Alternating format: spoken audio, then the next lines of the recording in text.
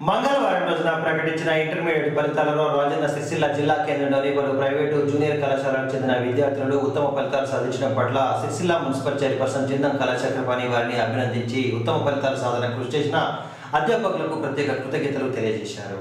మంగళవారం రోజున తెలంగాణ రాష్ట్ర ప్రభుత్వం ప్రకటించిన ఇంటర్మీడియట్ పరీక్షా ఫలితాలలో సిరిసిల్లకు చెందిన కళాశాల విద్యార్థులు ఉత్తమ ఫలితాలు సాధించిన పట్ల పురపాలక సంఘం అధ్యక్షురాలు చిందం కళాచక్రపాణి వారిని ప్రత్యేకంగా అభినందించి శాల్వాతో సత్కరించారు. తెలంగాణ ప్రభుత్వం ప్రకటించిన ఫలితాలలో సిరిసిల్ల సహస్ర జూనియర్ కళాశాల విద్యార్థులైన బింగి అక్షయ ఎంపీసీ రెండవ సంవత్సరం విభాగంలో తొమ్మిది వందల తొంభై తొమ్మిది మార్కులు అదేవిధంగా బైపీసీ విభాగంలో నల్ల అక్షయ తొమ్మిది వందల డెబ్బై ఐదు సిఈసి విభాగంలో ఇళ్ళ యామ్ని తొమ్మిది వందల ఇరవై రెండు మార్కులు సాధించి రాష్ట్ర స్థాయిలో కూడా ప్రతిభ కల్పించడం మన ప్రాంతానికి గర్వకారణమని పేర్కొన్నారు.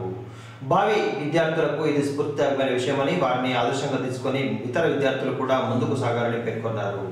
ముఖ్యమంత్రి కేసీఆర్తో పాటు మంత్రి కె. తారక రామారావులు సిరిసిల్ల జిల్లాకు చెందిన అనేక మంది విద్యార్థుల భవిష్యత్తు దృష్టిలో ఉంచుకొని జేఎన్టీయు ఇంజనీరింగ్ కళాశాలతో పాటు నర్సింగ్ కళాశాల ఈ మధ్యనే మెడికల్ కళాశాల కూడా మంజూరు చేయడం సంతోషకరమని ప్రత్యేకంగా పేర్కొన్నారు.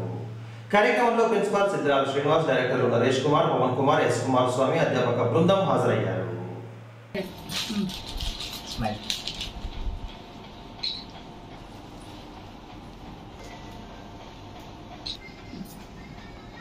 తిను. స్మైల్.